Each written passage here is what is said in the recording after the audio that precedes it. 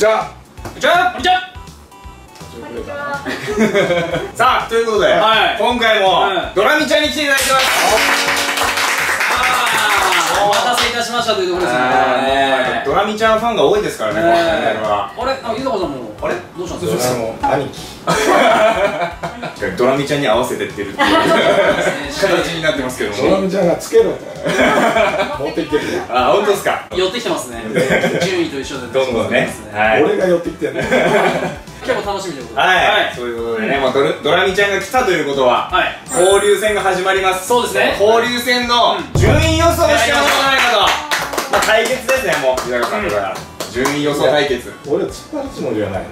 だって12球団当てるって大変なことだよ、おいやいやもうすごいですよ。そうですよいやい本当に。は前。はいじゃない。まあ一応俺の予想は出したよ。いあはいはい。あ、先に書いていただいてます。先にね。はい。まあこういうふうにやってこうであはい。書いて。そうですねこれ。順にどうします？なんかやってみます？これあのはい。綺麗に、はい。あの多分編集の時にユッティがこうバーンと出すあけど。テロップでちょっと。なるほどなるほど。はい。出していただきましょう。はい。まあこうなった。お。この理由はさはいあのまあ今調子がいいチームと、はい。ポイントになるのは中継ぎ陣だと思うおなぜ中継ぎ陣かというと今年のセ・パの野球を見てて俺接戦になると思うんだよね。それかもうパ・リーグはコッパに打つか。でもそうではないと思うんだようん。そしたら中継ぎ勝負になった時にやっぱり広島のあの安定感。でソフトバンクもねこれファームのゲーム見てると和田とかはい。中田とか中日からいったら投げてんだよ。バンバン投げてんだよ。いやそれが交流戦に合わせて上がってくると今まで先発してたの後ろに回せるじゃん。そうなってくると熱くなるなということ。でら楽天はもうとにかく打つ。中継ぎとともかくとして。で俺は阪神が上位に持ってきたのはやっぱ中継ぎがいいも。ん、あうん、それと一つのノリがある。でロッテが中継ぎに良かったんだけどちょっとここのとこ落ちてんだよでも交流戦から上がってくるかなと思って。調子がね。い。はで中日を上位にしたのもそうなのただ一つ不安なのが鈴木宏あこれですよね。これが昨日もやってくれましたね。毎度毎度。この話題になりますけど。で日本ハムはこう戦い方の試合巧者。うん。いそうですねでまあ d n a は中継ぎ勝負になったら弱いけどでも先発が安定してきてるよね。ある程度ドラムちゃん聞いて。るもう表情が分かんないですからこれではもう。そう。はで巨人はねとりあえずここにしたけど俺もっと苦しむ可能性があると思ってるんだよ。もしかしたらもうちょい下になる可能性もあるやっぱあの中継ぎ陣じゃ持たないよパ・リーグのバッターあはい。ででヤクルト。ヤクルトは若干調子を上げてくるだろうなと思って交流戦に入ったら。入ったら、うんあのは気分的にも、はで、えー、西武ですね。西武意外でしたね。ちょっい。これはい。くら打ってもダラダラ失点するようではさ持たないよ、とうん。ですね。あー。でオリックス。これはどうしてですか？いや。言うまでもないみたいな感じですけど。中継ぎ行く前に、はい。ボロッボロエラするからそうですいやまずまずそれが全部失点に絡むんだ。そうですね。だからまあまあそういうことでまあこういう順位になったけど、はい。この動画を撮るときにちょっとひらめきとかあるじゃない？はい。ひらめき。あるよひらめひらめきというかまあそのドラムちゃんのからヒントを得て変えるっていう。それはひらめきじゃないですか。というか。まあはひどいな。まあ大体こういうふうになっていくのかなという、ああなんとなくじゃあこれ証拠として一応じゃはいこれが一応証拠はい預かってい。一応持っておきましょうはい。はい。ということで。さはい来ました。楽しみだね楽しみなのが来ましたはいはい。ちょっと今、は。い。急いでバッと出した。ありがとうございます。んですけど、はい。全体的に見ると今年はセ・リーグが奮闘しそうお。な感じですね。パ・リーグは結構パッとしないという感じ。結構バラバラでした。1位がですね、はい。阪神ですね。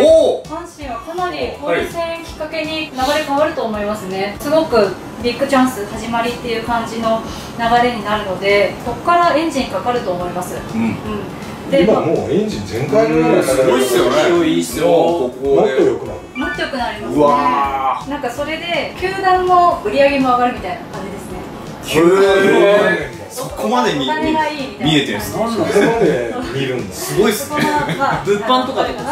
そういうねお客さんすごい入ると思いますおおなんで俺の T シャツ着てるあれ？どうえあのせっかくお邪魔するんで、はい宣伝してくれる。しっかり。いやこれ売ってるわけじゃないんだけどね。ああしっかりプライドを捨てられるという。プライド捨ててきたあのこのようにグッズがね阪神さん売れていくでしょう。なるほどそういうことですね。なるほどなるほど。少しないちょっとなんさか取っていい？はい。どうしますか？どうしますか？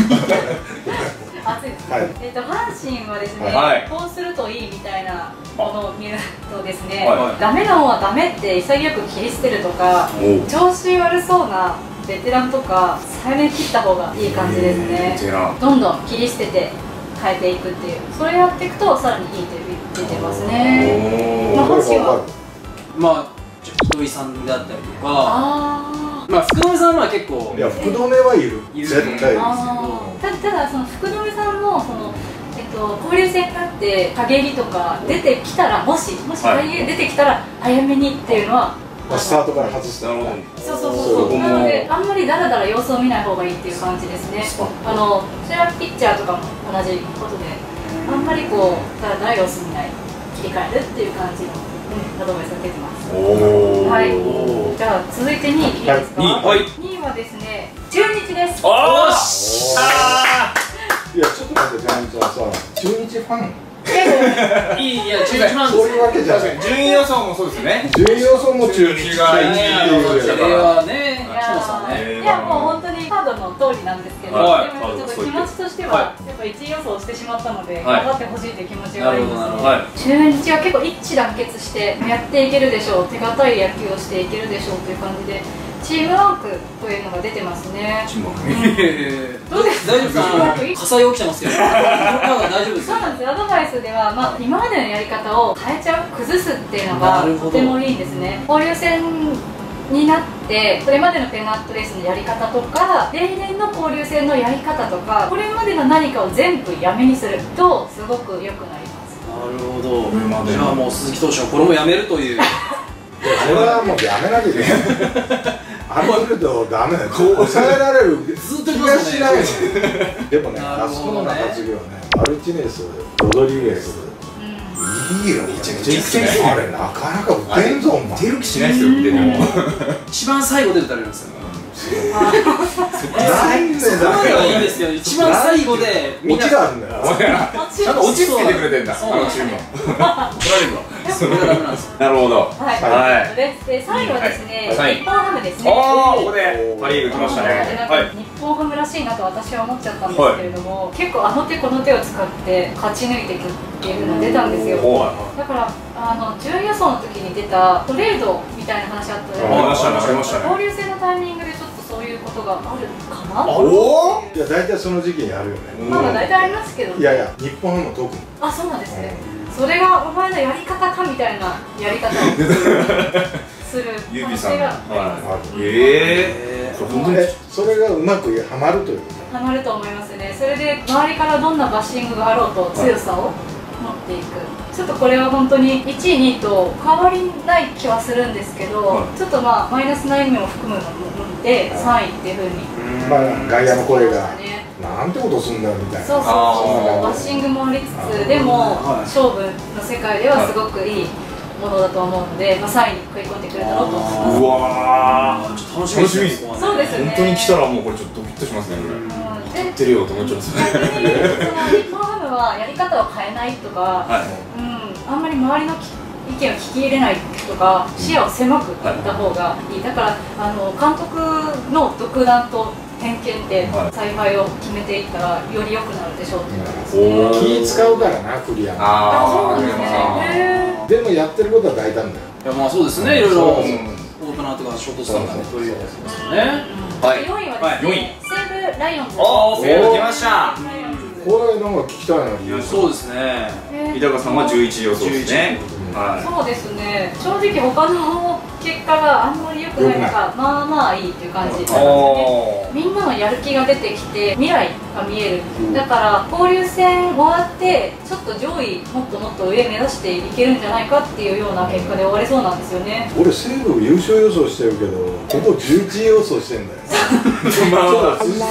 まあまあまあまあ。まあまあまあ。そうなんまあです確かに交流戦が全てじゃなそう私も西武は確か最下位予想してるはずなんですよ、だからこの順位っていうのはちょっとどうかなと思うんですけど、うん。そそのまま読むとこういう感じですね。なるほど。で西武はこれアドバイスはそうだな。なんか毎回新しいことをやっていくといい気がしますね。そうでしょう。これ復活のカードなんですけど復活の逆なんで同じ手を使わないとか復活させないっていうことなので、うん。ちょっとこう毎回毎回ちょこちょこちょこちょこ変えるとか若いピッチャーを抜擢するとか、なんかそういうイメージでやっていったらいいっていう。のが出てます若いピッねチャー結構出てきてるから今ね戸上も勝ってるしね。勝ってますね。損傷しますからねうん損傷ありがとうございます。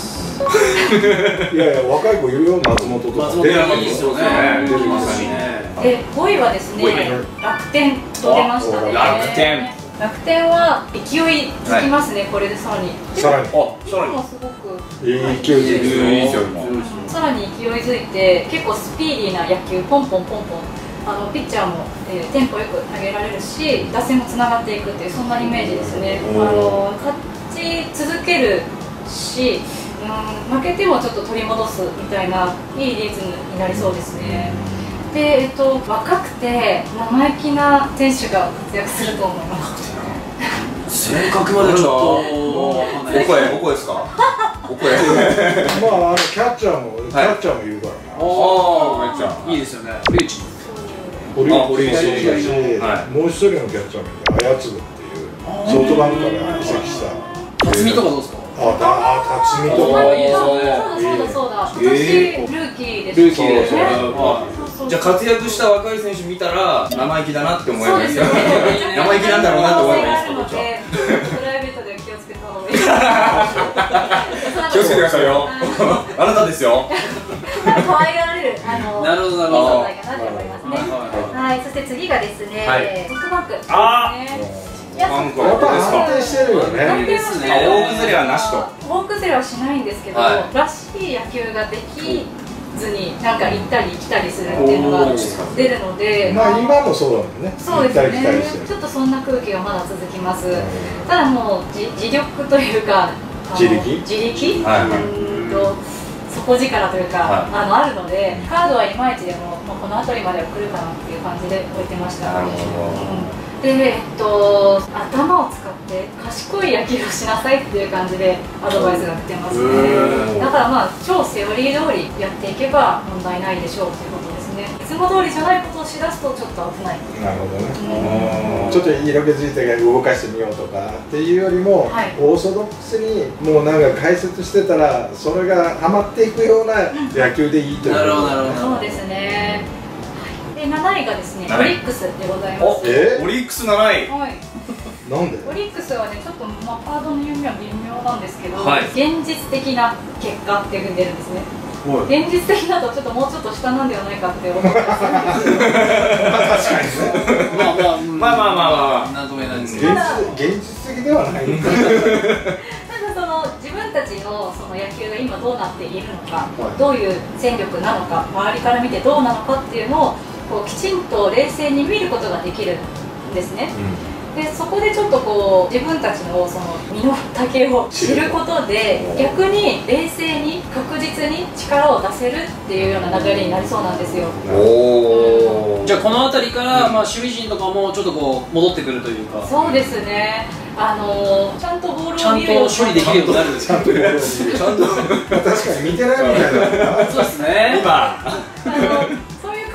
よ。なんかそはい。の現実見えてないとか、はいはいその霧がかかっていますっていうカードのひっくり返ってるので、返ってくるっていう。そうそうそうそう。だから多分今まで気分転換ができるということも含めて。交流戦になって。あのちょっとこう迷宮入りから抜けるっていうイメージもありますなから、まあ、今まではちょっとボールがもしかしたら見えてなかったな。るほど。でオリックスはですね派手にお金使って遊ぶといいと思います。それはえ球団的な話ですか？その選手選手個人のみんなですね。みんなみんな、うん。全員。夜遊びっていう。夜遊び夜遊びも含おめ金を使って選手を取ってくるそういう遊びじゃなくて。いやだからとにかくみんなで仲良くちょっと飯でも食って士気を高めようっていうことなんだよなるほどなるほどだから決起集会とかさはい「よしみんな行くぞ」みたいな。はい終わって帰るんじゃなくて。そうそうそう。いやだって年に1回しか行かないとこもあるじゃんセ・リーグのとこはいはいはい。確かに。もうそれだったらそこなんか有名店かなんかはいでどんちゃん騒ぎして「よし明日から行こう」みたいな。あ毎度毎度やると。あ贅沢をするといいっていうあなるほど。贅沢しなささいっていうカードなので例えばその交流戦の期間に勝ったら自分にご褒美を買ったりとかあとはなんかこうコーチがなんかプレゼントしたりとか、そういうのがあるとよりいいかなっていう感じですね。コーチ金がないんだよ金が。そうなかなか福良さんつきましたよね。GM ね。GM に。電話しとくわ。あじゃあもうそのこのい T けシャツ。にこの T シャツちょっとプレゼントして。みたいな勝ったらみんなにこうその配ってみんなでご飯いやこれ1枚しかない貴重なんですよ貴重なこれ大量生産は考えてないですか全然考えてないあれは結構全然考えてないがおしゃれなのにおそうお売れると思うえ売れると思います後で売らなくて後で別でちょっと売れると思います即答でしたけどはい、じゃあ7位ですけれども、はいはい7位はヤクルト。逆ございますあ8位ですかね。8位はい。はいちょっと盛り返してくるね。8位。ははいい、そうですね。ただ盛り返しても、まだまだこう波に乗れないっていうのが出てたので、ちょっと連敗続いていましたけど、うん。なるほど。この時もまだ連敗続いてます今。いや続いてないだろさすがにと思いますけど、やっと終わったと思いきや、なんかまた負けが続くみたいな、なんか掴みきれないっていう感じなんですよね。まあそんなヤクルトはですね、まあ、コミュニケーションをよく取る、なんか一人で考え込まないっていうのが出てるので、あのよくチームで話し合ったりとか、集合したりするじゃないですか。ミーティングねはいはいはい。あのマウンドに集まったりとか、ああいう機会をこまめに取った方がいいかと思います。おー一人ぼっちにするなとそうですね、そうですね、まさにその通りです。もうみんなでじゃあもう坊主ですねみんなでポーズ。青木選手にと一緒でねみんな。いやいやまあでもねその心意気は買う。いやそうですよね。青木選手がやっぱやってますからね素晴らしいですよね。38ぐらいでしょもうそれぐらいですねすごいよあのスピリッツいや、本当に。ね。そして、え次がですね、はい。広島。9位が広島。おおー意外ですね広島は、ちょっと交流戦でクタクタになると思います。あ豊さんにどうしこれさんも言ってましたよねお、疲れがここに出てくるうんもしかしたら。いや練習してたらあの今絶好調じゃない。うでもその反動は必ず出てくる、でも人生。ブレじゃないですか言ってましたよブレてはブレて出てないです。はでもイメージがそうじゃない。そうですね。イメージ。なるほどなるほど。変わりますもんねその都度でも俺は今年はセ・リーグの方が上位に来るかなとは思ってる、うん。でもそうでもないね。まんべんなくですね。まんべんなくはそう疲れる。疲れが豚ん。豚の手そうなんですよ。はでも大事なのはメンタルっていうのに出てます。ね。メンタル。メンタル。おあーメンタル穏やかなメンタルを保っていけば、交流戦で多少こけてもペナントレースは無事でいられるでしょうっていう感じですね。はい。はい。はい。10位が DNA ですね。あ来ましたあのちょっと私は最近ちゃんと野球を見られていないんですけど、はい。カード的にはなんか誰かをすごい待ってるっていう風なのが出てるんですよ。待ってる。俺じゃない？あ豊井戸川さん？マジで。いや本当に。俺を待ってんじゃないあら。え？待ってんじゃないですかこれ。なんかもう。え何を待ってなんかそのいい知らせを待つっていう意味のものなんですね。だから例えば離脱してる選手とか。調子が上がってこない選手がいたとしたらその選手がやっと戻ってくるか来ないかぐらるでも大物が怪我してるっていうことはあんまりないよね。怪我人はもう梶谷選手です。なかなか。ああ梶谷は調子が悪いだけだあだからそのまあで会社に上がってきたらが悪いっていう、でそれでもいいの？うん、悪い選手がいたらやっぱ待ち続けるみたいな感じになっちゃうので。まあそれともうん。誰かを取りに行ってんのかもあピッチャーとか。ーそれはちょっとあり他からっていうねだそこで合意するとおートレードですかいやトレードとはいかもあるし外国の外国人選手はいピッチャーとかちょっとどっかに目をつけてるのかもお可能性はある7月いっぱいそうですねその可能性としてはありますね、この辺日ハム絡んでます。あー絡んでるかもしれだないから日ですねトレードに本いや日本ハムとのトレードは結構あるからね。うん。中日も谷本選手もありましたからねいきなり。あー。オーストリー行ったあ、なので結構待ってばっかりみたいな感じなんですよ結局。だから試合自体も攻めの野球っていう感じがあんまできないんだと思うああなるほどなるほど。柔軟性がないもんね。そうですね。もう打つのを待つしかないです。なるほど。うんうんそんな感じなんですよね。まあ、大事なのはやる気って出てます。やる気元気。いや分かるいやすごい分かる。いいですよだってゲームを途中で投げるって言ったらまあ投げてはないんだけど、はい。ちょっとだらっとすることが見え隠れするもんね。だからまあそこら辺はもう最後までプロなんだから戦い抜くとか、うん。まあ、そういうことが大事なのかな。ね。はい次ですけれども、はい。えっと次は11 11位はロッテです。あらなんだよ。あれ？ロッテになっちゃいました。はい。これ？1位予想じゃなかったです一応そうですけどね。そうなんですよ。いいっすかなぜに？いやーなんかこれ一方通行っていうのが出ちゃってるのでもしかしたらそのピッチャーいい時にバッター良くないとかあそういうことが起こってくるかもしれない。なるほどなるほど。最初井口監督のうん。運がものすごいいいって話がはい。あったんです。この時っていうのはうんそのまま。ただここでもですね井口さんがキーポイントとかキーパーソンになってるんですね。井口さん自身が自分のやり方に自信を持って貫けばなんとか乗り越えられるものです。順位も変動あるかもしれない、あるあるかもしれないですね、これは結構アドバイスがポジティブに出てるので、その本当に井口さん次第で立て直せます、おおうん、あるいはそのベテラン勢ですね。ベテラン勢の、うん力でなんとかなるかも。角中が怪我したも。んそれはでかいですねでかいですね。確かに。俺言ってたじゃん。角中の打率と順位が比例する。っていやね言ってました聞いてきましたもんね。うん。角中選手。怪我した。ドラムちか？わい でもこの間福浦さんとかはね、もうそううん。おガッとうん。うんちょっと救世主的な感じになってそうですね、本当になんかこう、目上の男性っていうのがすごく頼もしい出てるので、あのぜひね、若者たちを鼓舞して引っ張ってあげてほしいです。おおで、最下位です。最下位。なんか私、アンチみたいになってどうしたんすか？あの巨人が。あいやでもこれ多分タラッと分かんない人でも分かりやすいと思うんです。これはい死神のカードなんですよ、でも巨人出ましたか？は今年ガタガタになるって言ってたもんね。いやでも今のところそうでもないので全うん。くちょっと私の占いどこまで？いやいや結構でも昨日でも勝ちゲームを落としてるししましたね。その兆候が出始めてる。したら交流戦前に。このカードが出ちゃうともう他のカード見なくていいぐらいもう12位決まりだったので、あ。うん、一番最初に書きました。そのぐらい結構強いカードなので、はい。ちょっと巨人は交流戦で大きくガタッと出るええか可能性がありますなんかなんかあります？こうちょっとこう救いなんかアドバイス的なのはなんかないは、えっと、満足を求めない。満足を求め完璧を求めない。満足を求めない。ちょっとこう最初から、まあ、1点ずつ確実に欲を出さないっていうことですよね。でもねそれをやっても中継ぎ勝負になってくると吐き出すんだよ。だから悪循環なんだと思うあこれ新聞の予想で、はい。巨人も可能性はなくはないけどマッソンっていう外国人がいるでしょ、はいはい。あれが下で投げ出したのね。もうそれ次第だっていうふうには言ったんだけど。はいはあまだいいっすよね。でも間に合うかどうかっていうのがわからないよそれ。でもねそこはどう巻き返すのかもまあそりゃそうそうですね。はい。い。結構ばらけましたね。ばらけました北川さんの予想と。広島くただってだから俺広島とか阪神とかアンチって言われてんだよね。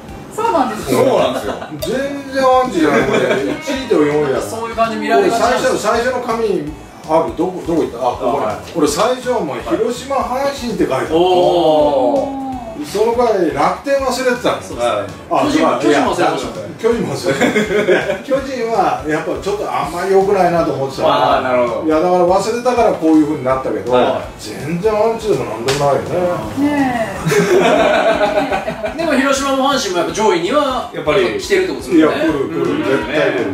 楽しみだよ。楽しみです。よ楽しみですね。今年の見どころは？見どころなんか聞きたいです見どころみたいなのある？交流戦ですか？交流戦の見どころ。交流戦の見どころ。1枚だけちょっと聞いてみましょう。はい。あーなんかここで、うん。結構ペナントエースの順位がリセット。される。リセット。あえまた用意ドンに戻るかもわからない。なるほど。これスタートのカードなので、はい。スタートのカード。そうスタートなので今まで4月5月ダメだったとしても、はい。チャレンジできます。おーなるほど。じゃあ A クラス B クラスひっくり返る可能性もあるというところですもんはいねはい。でもね、まあドラミちゃんのあの予想だと、やっぱ回は回だよな。さっきは見て。る やっぱ巨人が危ないということはいはい。そうですね。でパ・リーグはリセットされるっていうのはオリックスが良かった。よね。あそうですだからね一つだけオリックスだけ置いてきぼりだから、うん。パ・リーグの方は本当にリセットされる、うん。こおおれは面白いですよ。面白くなりそうですねこれ。はい注目してください。はい。はい、よろしくお願いします。お願いします